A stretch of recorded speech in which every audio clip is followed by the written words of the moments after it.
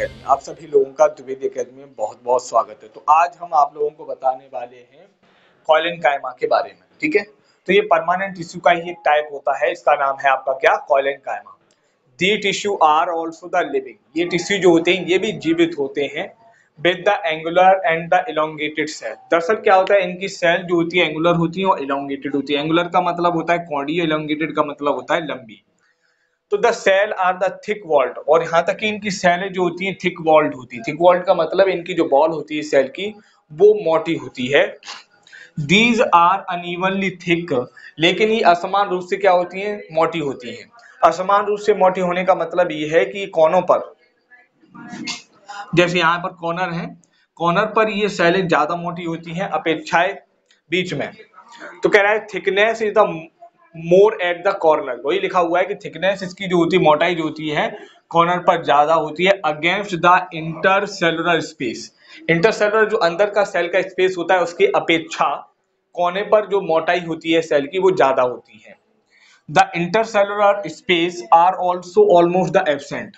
और ज़्यादातर जो इंटरसेलुलर स्पेस होता है, कोशिका के बीच की जो जगह होती है, जो जैसे मान लो दो कोशिकाएँ हैं जैसे कि यहाँ पर हमने मान लो ये एक ऐसी गोल कोशिका ले ली हार्ड वाल वाली और एक इधर ले ली और एक इधर ले ली। तो ये पूरी तरह से एक दूसरे में अटैच नहीं हो पाती इनके बीच में यहाँ पर जो है खाली जगह रह जाती है। तो आ, लेकिन इनके अंदर क्या होता है सेलों के अंदर इनके सेलों के अंदर खाली जगह नहीं पाई जाती है। तभी यहाँ लिखा हुआ है द इंटरसेलर स्पेस और ऑल्सो द एबसेंट। दरअसल क्या होता है कि कॉलन कायमा सेलों के अंदर इंटरसेलुलर स्पेस पूरी तरीके से एबसेंट होता है। Thickening thickening of the cell wall is due to the pectin दरअसल जो मोटाई है सेल वॉल की, वो पेक्टिन की वजह से and also of the cellulose और किसकी वजह से है? सेल्यूलोज की वजह से. बट नेवर द लिंगिन लेकिन इसमें आपका कभी भी लिंगिन शामिल नहीं रहता. लिंगिन भी एक तरीके से मटेरियल है, चिपचिपा होता है और ये कई सेलों में, कई तरह के प्लांट की सेल उनमें पाया भी जाता है, लेकिन यहाँ पर परमानेंट परमानेंट सेल का जो पार्ट है, कॉलिन कायमा, इसके अंदर आपका लिंगिन नहीं हो करके पेक्टिन इसके कोनों पर पाया जाता है। Collenchyma is chiefly the present in the peripheral region of the stem दरअसल जो तना होता है, उसकी जो परिधि वाला, जो हिस्सा है, जैसे मान लो कि ये तना है स्टेम है तो इसका यहाँ पर जो आउटर सरफेस जो परिधि है यहाँ पर इसकी आउटर वाली, उसमें ये पाए जाते हैं। कौन पाए जाते हैं? कायमा ठीक है? और पत्तियों के भी परिधि वाले हिस्से में ये पाया जाता है, बाहरी सीमा वाले हिस्से में पाया जाता है।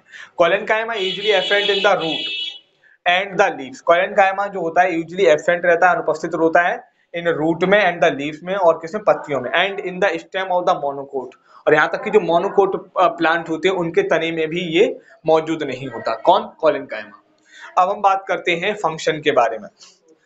Collenchyma provide the mechanical support collenchyma क्या करता है? मैकेनिकल सपोर्ट प्रदान करता है. मैकेनिकल सपोर्ट का मतलब होता है यांत्रिक. एक यांत्रिक सपोर्ट देता है, सहारा देता है. और यांत्रिक सहारे का मतलब हो गया उसे मजबूती देता है और फ्लेक्सिबिलिटी देता है। तो collenchyma provide the mechanical support and the flexibility to the young तो young plant young and the growing organs तो दरअसल क्या होता है कॉलन कायमा का मेन काम है जो नए ऑर्गेन्स प्लांट के अंदर बनते हैं, जो नई शाखाएँ निकलती हैं, पत्तियाँ निकलती हैं, उनको मजबूती देने का और उन्हें फ्लेक्सिबिलिटी देगा, लचीलापन देने का काम है किसका? कॉलिन कायमा का, ठीक है? अब दूसरी बात यहाँ पर और है chlorophyll containing collenchyma are the photosynthetic chlorophyll जो कंटेनिंग कॉलिन कायमा है, वो फोटोसिंथेटिक होते हैं। फोटोसिंथेटिक का मतलब हो जाता है कि वो सभी जो होते हैं, उनके अंदर क्लोरोफिल पाया जाता है।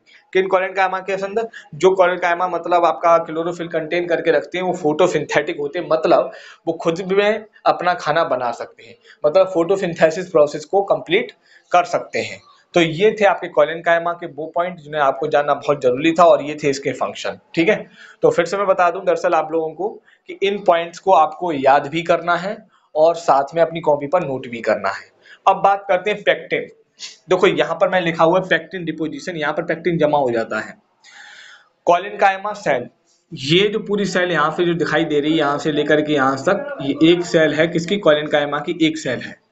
ठीक है? तो ये मैंने यहाँ पर सेल बना रखी है और यहाँ पर ये मैं आपको बता दिया पेक्टिन है यहाँ पर। पेक्टिन का यहाँ पर डिपोजिशन हो गया है पेक्टिन यहाँ पर आकर के जमा हो गया है। तो ये था आपके बाद कॉलिन कामा के बारे में। अभी हमें और भी कुछ चीज़ें जाननी है, जो हम इसी वीडियो के अंदर जानेंगे, ठीक?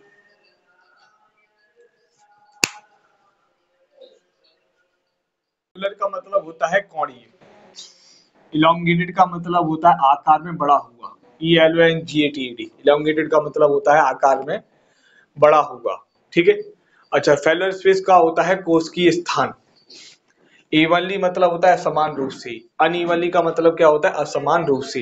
U N E B N L Y evenly का मतलब होता है समान रूप से। चीफली का मतलब होता है अधिकतर। ऑलमोस्ट का लगभग होता है लगभग। ऑलमोस्ट का मतलब क्या होता है? लगभग। ऑलमोस्ट का मतलब होता है लगभग, ठीक है? पेरीफेरल का मतलब होता है परिधीय। पेरीफेरल का मतलब होता है परिधीय। ठीक है? अच्छा मोनोकोट का मतलब होता है एक बीज पी। मतलब एक बीज पत्री वाले जो पौधे होते हैं, उन्हें मोनोकोट्स कहते हैं। जैसे कि आपने गेहूँ देखा होगा तो गेहूँ की, अब जैसे गेहूँ उपजता है तो उसका एक ही मतलब जैसे चना का जो पौधा होता नहीं उसका बीज दो हिस्सों में टूट जाता है, जब वो उपज रहा होता है। जब वो मतलब जर्मिनेट हो रहा होता है तो चने के पौधे के जो बीज होते हैं, दो टुकड़ों में टूट जाते हैं, लेकिन गेहूँ का जो पौधा होता है, उसका एक ही टुकड़ा रहता है, दो टुकड़ों में नहीं बढ़ता। मटर का दाना कभी देखना, और फिर उसको मटर को छीलना, छीलने के बाद में फिर उसको देखना, दो उसमें अलग अलग टुकड़े हो जाएँगे। तो वो ऐसे जो होते हैं, वो डाइकोट कहलाते हैं, लेकिन जिनमें सिर्फ़ एक ही बीज होता है, उन्हें मोनोकोट्स वाले कहते हैं। इनके मतलब जिनके बीज के दो टुकड़े नहीं होते हैं, उन्हें हम क्या कहते हैं? मोनोकोट्स कहते हैं। अच्छा अब यहाँ पर कोश की स्थान, जो मैंने बता दिया आपको फेलो स्पेस का ऑलमोस्ट होता है लगभग, और पेरीफेरल का मतलब होता है परिधीय। परिधीय का मतलब होता है जैसे परिधि पर होना, जैसे बोर्ड है आपका। तो बोर्ड का जहाँ लास्ट किनारा होगा, वो उसकी बोर्ड की क्या कहलाएगी? परिधि कहलाएगी, ठीक है? और इसी तरीके से यहाँ देखो ये बोर्ड के जो किनारा है, इसे परिधि कहते हैं।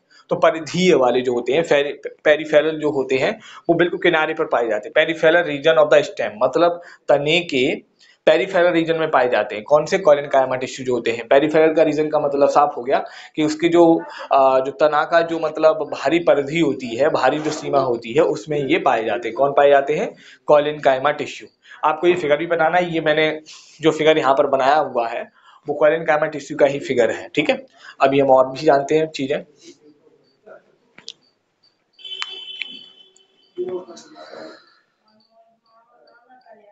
है स्केलेरन कायमा? स्केलेरन कायमा किस तरह के टिश्यू होते हैं? आखिर इनकी क्या खासियत होती है? दरअसल स्क्लेन कायमा जो टिश्यू होते हैं, वो भी परमानेंट टिश्यू के ही टाइप हैं और ये प्लांट के अंदर पाए जाते हैं। पहले तो आप लोगों को ये रिमेंबर रखना बहुत ज़रूरी है, ठीक है? तो अब हम बात कर रहे थे these are the hard rigid and the dead tissue ये दरअसल क्या होते हैं? हार्ड होते हैं, रिगेड मतलब ठोस होते हैं और साथ में डेड टिश्यू होते हैं। डेड का मतलब होता है मरे हुए टिश्यू होते हैं।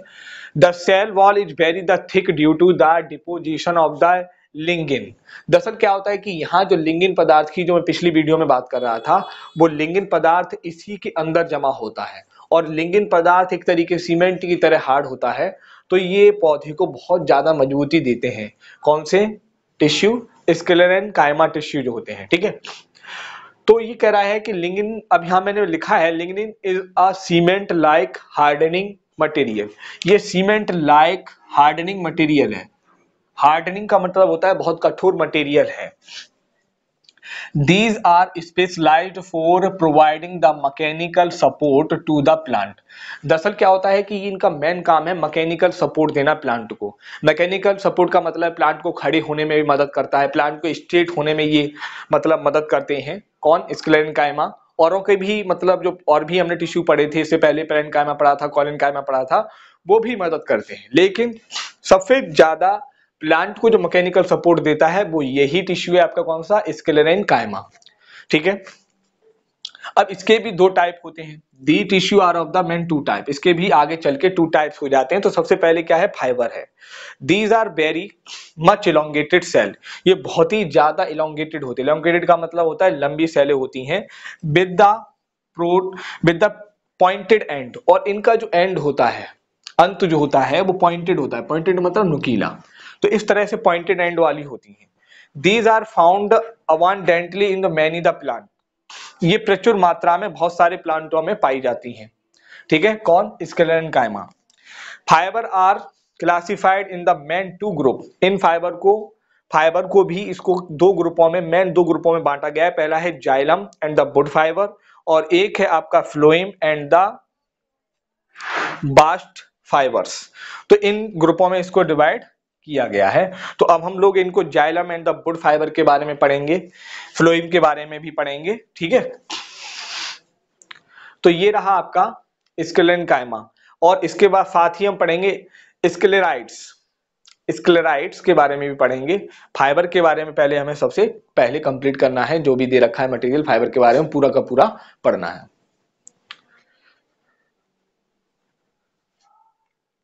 हैं बर्ड मीनिंग तो बर्ड मीनिंग क्या है हमारे पास में? मरे हुए उत्तक मरे हुए उत्तक एक इसका मतलब डेड टिश्यू को पढ़ते हैं, मरे हुए उत्तक ठीक है?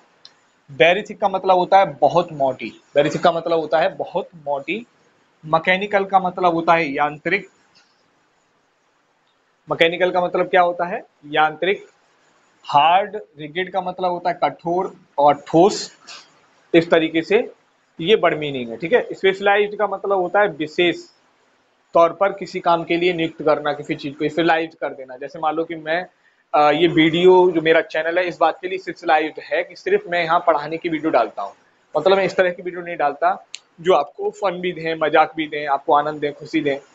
अगर चलो ठीक है ऐसे ही ऐसा मतलब बोलने से मुझे एक आइडिया आया कि मैं कोशिश ये किया करूँगा वीडियो के लास्ट में कुछ फनी थिंग्स डाल दिया करूँगा जिससे आप लोगों को पढ़ने के बाद में थोड़ा सा रिलैक्स मिल जाए ओके तो फ़िलहाल जो है, अभी मैंने आपको ये बड़ी मीनिंग बता दी जो आपको परेशान कर सकते थे। तो ज़्यादा मतलब बड़ मीनिंग ऐसे भी नहीं है जो आपको परेशान करें इसमें। तो इसलिए मैंने कमी मीनिंग बताए हैं।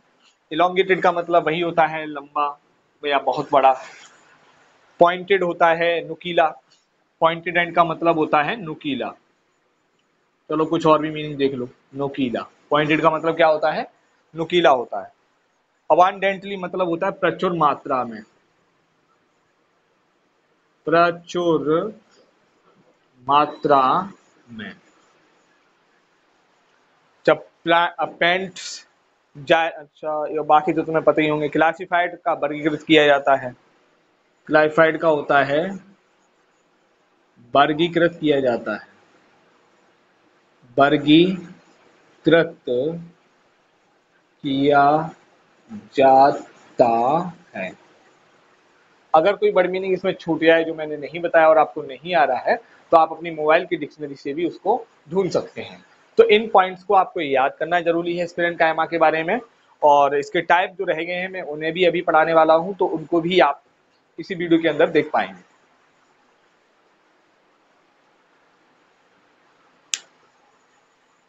थे जो हमें पढ़ाने हैं तो वो पॉइंट क्या है? जाइलम फ्लोइम के बारे में जो भी मतलब बताया था मैंने पिछले इसी मतलब वीडियो में चैप्टर में, इसी वीडियो के चैप्टर में तो वो जो जो था, उसके बारे में डिटेल में जानकारी लेने की ज़रूरत नहीं है ज़्यादा।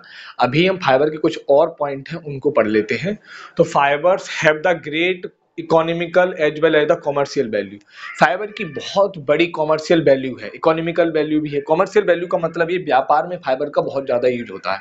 हम लोग जानते हैं फाइबर से रस्सी बनती हैं फाइबर से कपड़े बन रहे हैं। तो फाइबर जो है बहुत ही महत्वपूर्ण है। Some commercial important fibres are कुछ महत्वपूर्ण जो कॉमर्शियल फाइबर्स हैं वो यहाँ दे रखी हैं। एक है आपका हेम्प जिसे हम पढ़ते हैं कैनाविस सेट सेटिवा ठीक है? एक आपका जूट है। इसको पढ़ते हैं कॉरोचस, कॉर्चोस, कॉर्चोरस, कैपिलरीज। नहीं पढ़ पा रहा।